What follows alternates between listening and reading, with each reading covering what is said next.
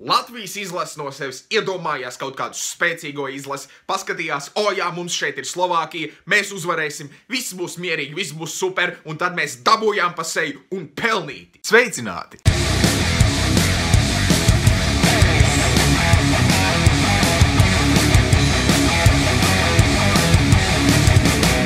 Latvijas izlase zaudē 5-2 Slovākijai pēdējā grupu turnīra spēlē un paliek pēdējie grupā, paliek bez punktiem turnīrā. Brīnišķīgi. Un tagad mums visdrīzāk nāksies spēlēt pret Dāniju. Dānija Krieviem ielaida tikai viens vārds no spēles. Dānija uzvarēja Čehiju, Dānija uzvarēja Šveici. Tas būs grūti. Protams, var arī sanākt cits pretinieks, bet Izskatās, ka tā būs Dānija, un Dānija noteikti nebūs viegli izlasīt, pret ko spēlēt. Un Dānija noteikti arī spēlēs līdzīgi, kā šodien spēlēja Slovākija. Un mēs nemākam spēlēt kā favorīts. Mēs skatāmies uz kaut kādu pretinieku izlasi, un mēs domājam, o jā, mēs viņus paņemsim, mēs iesim uzbrukumā, bet mēs atkal iekrītam uz pretuzbrukumiem. Latvijas izlase nevar spēlēt kā favorīts. Uzbrukumā spēlēt nevar. Mums ir jāspēlē no aizsardzības. Un mēs to redzējām šajā spēlē. Latvijas izlase domāja, o jā, mēs visu mierīgi izdarīsim, mēs iziesim cauri Slovākijas aizsardzībai, iemetīsim pāris vārdus un uzvarēsim spēli. Nu nē, piedodiet, tā tas nenotiek. Mēs vienkārši izdomājām, ka mēs paslidināsimies, ka šī spēle tomēr nav svarīga, un es,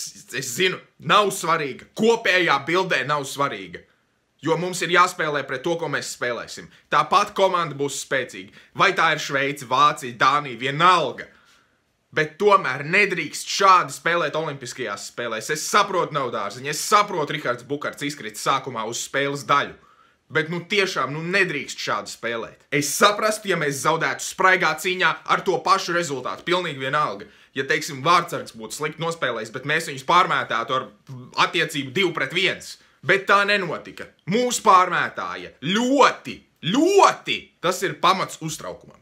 Tas, ko mēs redzējām pret Somiju, šeit nebija. Tas, ko mēs redzējām pret Zviedriju otrajā mača pusē, tā šeit nebija. Es domāju, ka viņi paši to arī ļoti labi apzinās, ka nenotika tā, kā vajadzēja notikt. Uzreiz kā ķēniņš guva vārdus, Slovākija aktivizējās. Uzreiz kā Indrešs gūst vārdus, Slovākija aktivizējās. Un otrajā gadījumā viņi pat gūst vārdus. Un Indrešs arī šajā spēlē mīnusus vāc ļoti nopietni. Tieši tāpat kā viņš to darīja Admirālī, tieši tāpat kā viņš to darīja Viķezā ir iemesls, kāpēc viņš nespēlēja pirmo spēli, un tā ir aizsardzība. Un Indrašs pat nespēlēja centrā.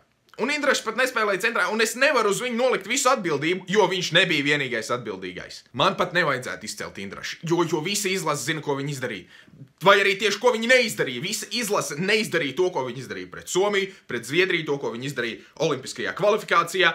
Nu, tas nebija nopietni. Mēs nevaram iziet laukumā un gaidīt, ka Slovākija mums vienkārši atdos uzvaru. Tā nedrīkst. Viņiem ir pietiekami daudz labu spēlētāju, viņiem ir ļoti labs vārdsargs. Mēs nevaram gaidīt, ka viņi vienkārši tā, o jā, ņemiet. Ņemiet, mums nevajag. Kā ar tādu attieksmi var sasniegt ceturdaļfinālu? Kādas vēl medaļas, vispār ceturdaļfinālu? Vienīgais, uz ko var cerēt, ir, ka Latvijas izlasē šis būs nopietns spēriens pa pakaļ, un kvalifikācijas mačā mēs arī kaut ko varēsim izdarīt. Un kvalifikācijas mačā mēs būsim ņēmuši vērā to, ko mēs neizdarījām šodien.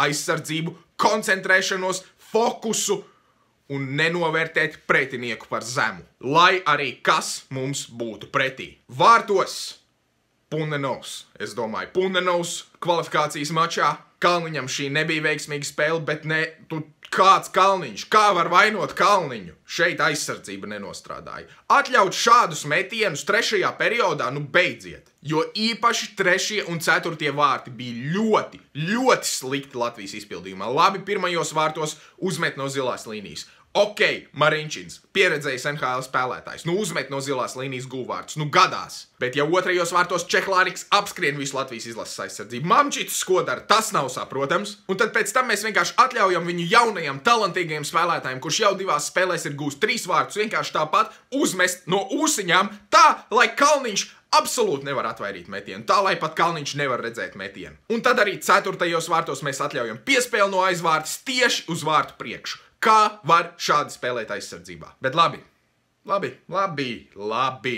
Mēs zinām, uz ko ir spējīga Latvijas izlase, un šodien mēs to neredzējām. Lai būtu jebkādas cerības uz ceturdaļfinālu un vēl kaut kādas sapņu medaļas, ir jābūt atpakaļ dārziņam, ir jābūt koncentrēšanās spējai, ir jābūt fokusam un ir jābūt fiziskai atdevei. Tādai, kādas šodien nebija, un tādai, kādu mēs redzējām pret Somiju un ko mēs redzējām pret Zviedriju otrajā spēles pusē.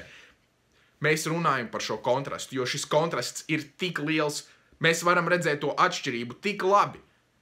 Kā Latvijas izlases spēlē, tad, kad ir koncentrēšanās, tad, kad mēs esam pilnībā koncentrējušies spēlē, un tad, kad bija kā šodien. Bet labi, šim video tas arī viss. Ja tev patīk šis video, spied laikam abonē kanālu lasis sportagalds.com, dažādi interesanti raksti par visādiem sporta veidiem, un tad jau tiekamies pēc divām dienām Latvijas izlasē kvalifikācijas mačs. Ceram uz ceturdaļu finālu. Saņemamies!